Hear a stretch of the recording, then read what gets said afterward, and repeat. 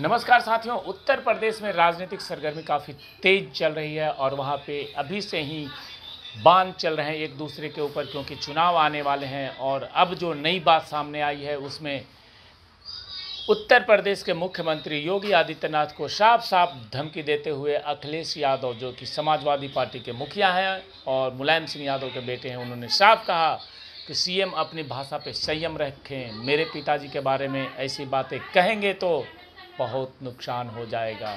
ये बातें कहना है अखिलेश यादव का। एक्चुअली हुआ क्या है कि सीएम योगी द्वारा अब्बा जान कहे जाने पर, मुलायम सिंह यादव को सीएम योगी ने अब्बा जान कहा।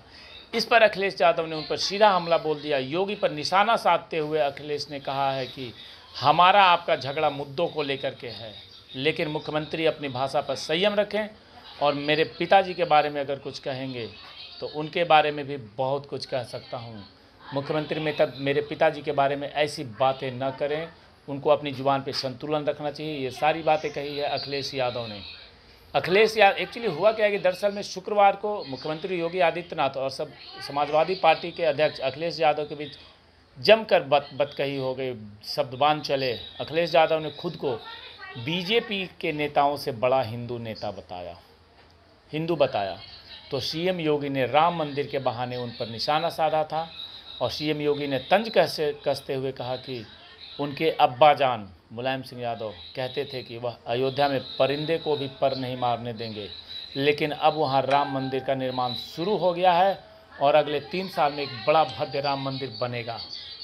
इसको, इसके बाद से ही ये हंगामे स्टार्ट हो गए उत्तर प्रदेश में। आगे योगी ने यह भी कहा कि हमने कहा था कि मंदिर वहीं बनाएँगे।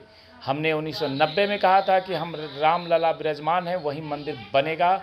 तब इन लोगों ने गोली चलवा दी थी लेकिन अब आप देख लीजिए मंदिर का काम शुरू हो चुका है जल्दी से पूरा किया जाएगा। अखिलेश ने 400 सीट जीतने के दावे पर योगी ने चुटकी लेते हुए कहा मैं तो हैरान हूँ।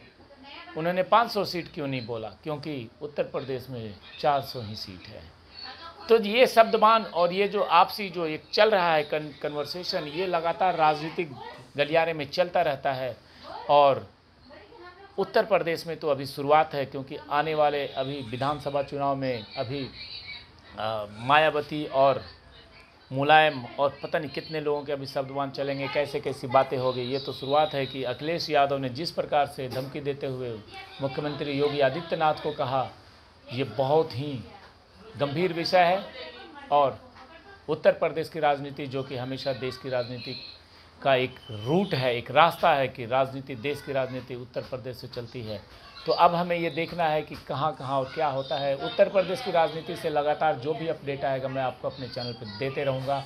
और आपने अगर मेरे चैनल को सब्सक्राइब नहीं किया है तो सब्सक्राइब कर लीजिए, क्योंकि उत्तर प्रदेश के एक एक एक एक विधानसभा और एक एक घर का एक एक गली का आपको अपडेट मेरे इस यूट्यूब चैनल पर मिलेगा। जय हिंद, जय भारत।